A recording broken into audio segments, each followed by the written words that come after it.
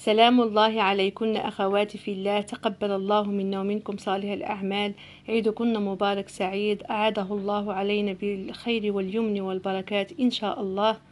بعد الصلاة والسلام على حبيبنا محمد عليه أفضل الصلاة والسلام. اليوم إن شاء الله غادي نقترح عليكم اللحم مشوي أو القطبان باللحم. غادي نشويهم إن شاء الله. وغادي تشوفوا معايا الطريقة الصحيحة لتحضير هاد القطبان إن شاء الله. على بركة الله.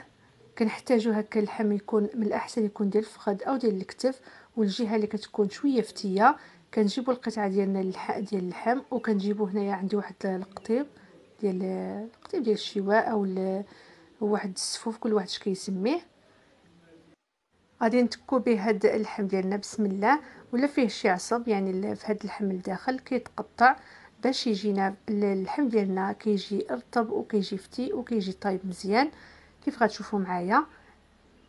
هاد الطريقة هذه يعني هادو كيف كتشوفوا واخا كاين العصب لداخل كيتقطع ما كيبقاش وما كيبقاش اللحم ديالنا بحال اللي بحال اللي كيتجمع أو كيتقلص الحجم ديالو وكيبدا يقساح. هاد الطريقة هذه كتساعد اللحم باش يجي رطب من بعد ما يطيب. من بعد ما تكيتو مزيان غادي تحاولوا باش تهرسوا كاع داك العصب اللي كاين لداخل.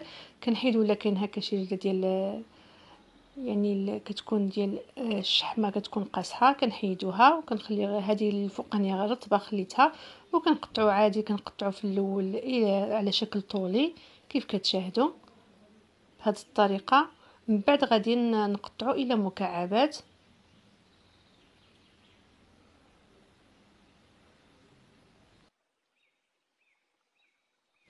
هنايا هذه مازال غادي نتكها شوية.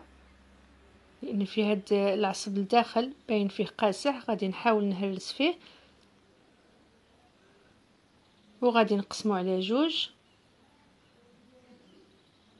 كتشاهدوا هنا. ودابا غادي نبدل باش نقطعو إلى مكعبات اللي هي متوسطة الحجم.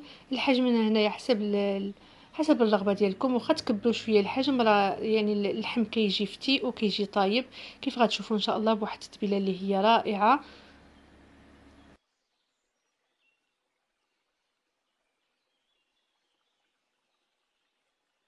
غادي نكمل بنفس الطريقة غادي نقطع لك كل الكميه اللي عندي ديال اللحم ونرجع معكم بإذن الله. هنا رجعت معكم أخواتي من بعد ما قطعت اللحم الكمية اللي عندي ديال اللحم الكمية حسب الرغبة أو حسب العائلة. وهنايا التتبيلة اللي غادي نحتاجوها اللحم إن شاء الله. غادي نحتاجو واحد البصلة اللي هي كبيرة مشلضة مقطعة إلى مكعبات اللي هي جد صغيرة. بصلة كبيرة أو جوج صغار حسب الكمية ديال اللحم هنايا. وعندي هنايا الملح وعندي الفلفل الأسود أي الابزار وعندي البابريكا أي التحميرة أو الفلفل الأحمر الحلو. والزنجبيل أو السكينجبير وجوج معالق اللي هما كبارين ديال البقدونس مفرومين والخرقوم البلدي. وعندي هنايا الحبوب ديال القزبر مطحون ولا متوفر ما متوفرش ديال القزبر عادي. والكمون وعندي هنايا الحامض أي الليمون واحد نص حامضة. غادي نحتاجو العصير ديالها على بركة الله. كنجيبو اللحم ديالنا كنشكلو هكا واحد الحفرة في الوسط وكنديرو داك البصل. وغادي نضيف عليه البقدونس المعكنوس والملح واحد المعلقة اللي هي صغيرة ممتلئة. هنايا الملح والتوابل كيبقاو حسب الكمية ديال اللحم كل واحد حسب الكمية اللي متوفرة عنده. درت هنايا نصف ملعقة ديال الإبزار من ملعقة صغيرة. الكمون واحد المعلقة اللي هي صغيرة. كنعاود معكم المكونات.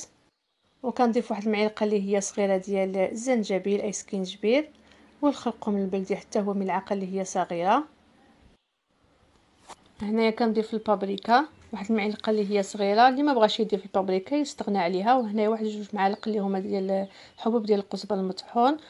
وغادي نضيف واحد الكمية ديال زيت الزيتون نسيت ما ذكرتهاش مع المكونات. غادي نضيف تقريبا جوج معالق اللي هما كبار حتى ثلاثة. ممكن تعوضوها بالزيت النباتية. ونضيف هنايا الحامض غادي نعصر هاد الحامضة أو نص حامضة. كتخلي اللحم كيجي فتي وكيجي رطب وحتى زيت الزيتون أو الزيت النباتية. وغادي نخلط جميع هاد العناصر بغيتو ديروا حتى الخل. ديروا الخل لكن أنا ما غاديش نضيف الخل غادي نكتفي غير بالليمون لأن غادي نخليه ليلة كاملة. من الأحسن كتوجدوه من قبل. آه مهم إما كتوجدوه ليلة كاملة من قبل كتخليوه يبات كتردوه في الثلاجة وكتخليوه يترقد في هاد التوابل أو كت ولا ما كنتو زربانين كتخليوه على الأقل واحد 3 ديال السوايع باش يتشرب مزيان. بعد ما خلط مزيان جميع العناصر غادي نغطيه بواحد البلاستيك غذائي وغادي ندخلو للثلاجة ونخليه إن شاء الله حتى يتشرب مزيان دوك التوابل ونرجع معكم بإذن الله.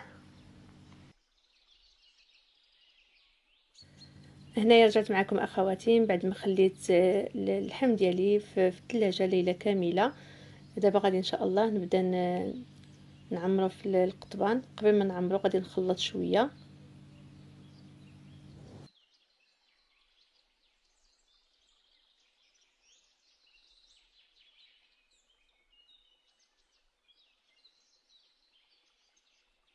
هنا كنوجدوا القطبان ديالنا اللي غادي نديرو فيهم اللحم. وهاد الشبيكة هذه غادي نقلبها. وكنبداو بسم الله. على بركة الله كندخلوا القطع ديالنا ديال اللحم في هاد القطبان ديال الشواء. بهذه الطريقة. وكتحاولوا تبعدوا بيناتهم باش يدخلهم الطياب. ما غاديش ياخذوا منا الوقت بزاف في الطياب لأن اللحم استعملنا اللحم اللي هو رطب وفتي ديال الفخذ. أو ديال الكتف عفوا كيف ذكرت لكم.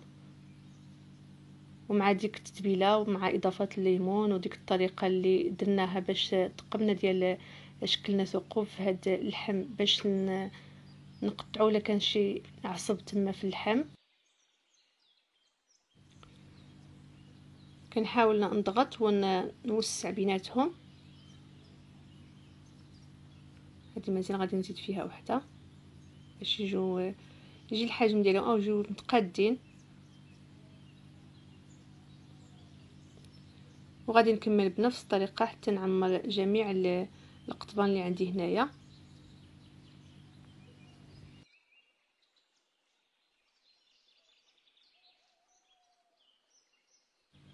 بسم الله هنا من بعد ما كملت هذه الكمية نقربها لكم غادي ناخذها باش نطيبها فوق الفاخل اللي شعلته من قبل.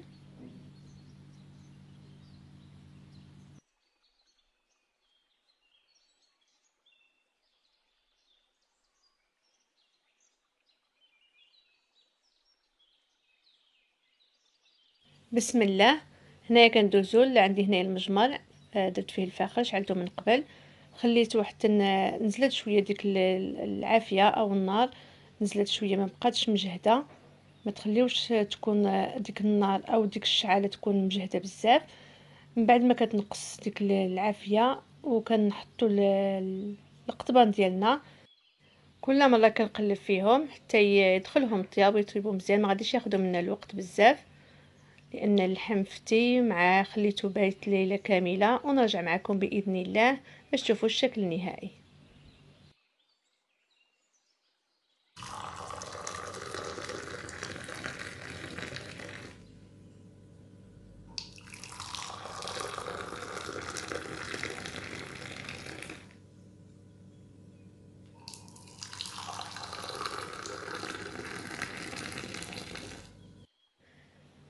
وهادو هما القطبان ديالنا اللي موجدين اليوم إن شاء الله نتمنى إن شاء الله ينالوا الاعجاب ديالكم كتقدموهم سخونين مع واحد البراد ديال اتاي وعيدكم مبارك سعيد. وفي الطياب ما تخليوهمش بزاف على الفاخر لأنهم دغيا كيدخلهم الطياب وكيطيبوا ما كياخذوش الوقت بزاف. ولا خليتوهم أكثر من اللازم غيبداو يتجمع معكم اللحم ويقصح معكم.